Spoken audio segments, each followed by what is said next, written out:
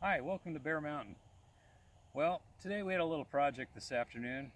Uh, where we did is we had to take our scoop scabiosa and get it prepped for winter time. And what we did is we came and we topped these guys down to anywhere from six to eight inches. Uh, some of them a little lower depending on the variety.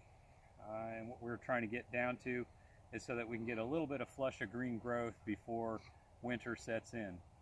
Um, the bed has been weeded and uh, we kind of tidied up the edges and we can see we pulled a lot of biomass off of the, uh, the bed here.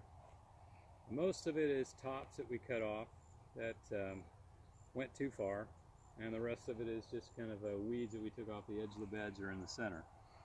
The next step here is we're going to leave the irrigation in and we're going to put azomite, uh, coating azomite minerals down and then we'll put two inches of compost. That's a pretty heavy load, but this compost is going to be rotting down during the course of the winter.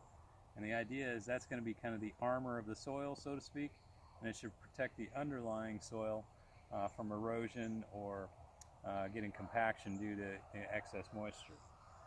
And uh, we're going to leave it open probably for about a month, uh, well into November. And when it looks like we're starting to head into uh, really cold weather, uh, we'll put a plastic over these hoops and uh, maybe if we need be on the inside for really cold weather, we'll use some Agribon just to, you know, extra protection.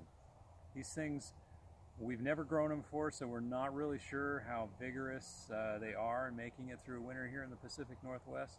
So this is all kind of an experiment.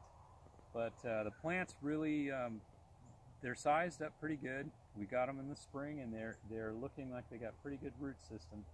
So if we can just keep them going through the winter, I think by next spring we should have a fantastic harvest. Of uh, we've got like four colors here, from tutti frutti to vanilla. So we've got a lot of uh, really good colors. Anyway, I want to thank you for watching today, and um, if you like what you see on our videos, please hit the subscribe button.